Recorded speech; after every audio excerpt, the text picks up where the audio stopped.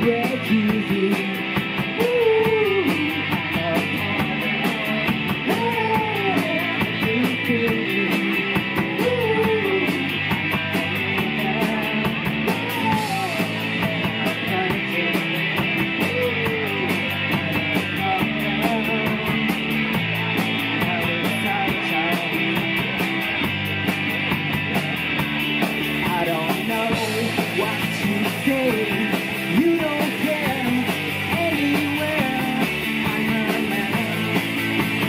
without you.